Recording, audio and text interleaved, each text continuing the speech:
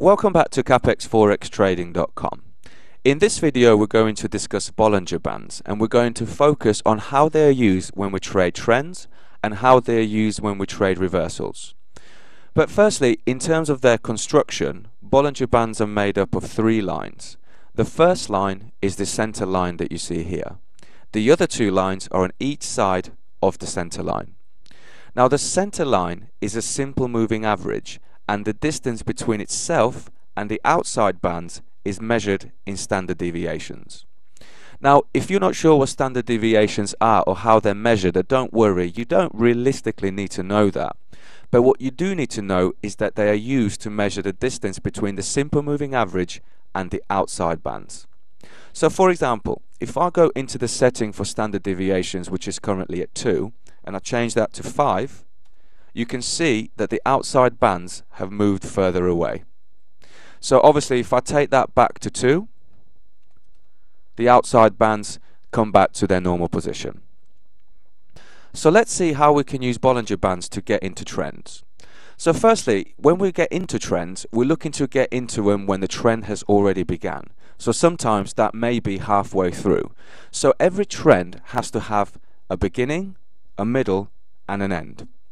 And this is where we use Bollinger Bands. And the reason why is because Bollinger Bands measure volatility. So remember, in Forex, we have no access to volume because there is no central exchange.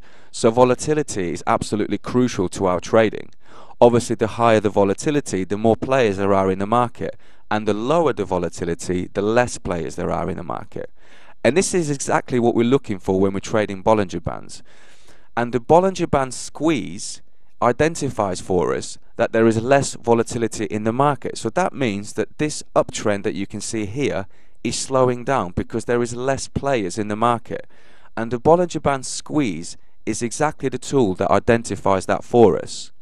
So what we can see here is a new downtrend being formed after the Bollinger Band squeeze. So that means that after the period of low volatility at the squeeze, we now have a period of high volatility, so a new trend has begun. And it is after this point that we're looking to get into a trend. So what we're looking for is a bounce of the simple moving average, which is exactly what we get here. And for our target, we're looking for the previous low. So that's this price area here. So if I take a horizontal line and mark that price level, you can see that it's been taken out by this big long black candle here. Now we can also use Bollinger Bands to trade reversals, but for that you cannot use Bollinger Bands by themselves. They're simply not strong enough. So what we need to do is use another indicator, and in this example we're using the RSI indicator, which stands for Relative Strength Index. Now we're not going to go into what RSI is in this video because we have another video dedicated to that. So if you're not sure what RSI is, then please watch that video first. But if you're familiar with RSI, then please stay in this lesson. So what we're looking for in terms of the relationship between the Bollinger Bands and the RSI indicator is divergence. So I'll explain a little bit better. So what we have here is a touch of the top Bollinger Band here and a touch of the top Bollinger Band here as well. So remember, when we're trading top reversals, we're looking for touches of the top Bollinger Bands. When we're trading bottom reversals, we're looking for touches of the bottom Bollinger Bands. So in this example, we have two touches of the top Bollinger Band. We have touch number one and touch number two. Now in this instance, prices are still going upwards despite the fact that the Bollinger Bands have touched. But the RSI indicator is showing us something different completely. It's showing us a weakness and it's continuing to fall.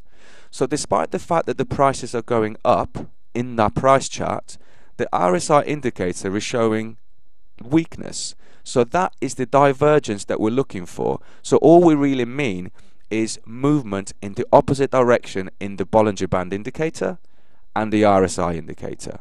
So you can see that from this point, the Bollinger Band, uh, the price level rather, has touched the top Bollinger Band and the price fell. So that's how you would use Bollinger Bands to trade reversals. So if you have any questions or comments, do let us know. Please subscribe to our channel or otherwise follow us on Facebook, Twitter, LinkedIn or Google+, and we shall see you in the next lesson.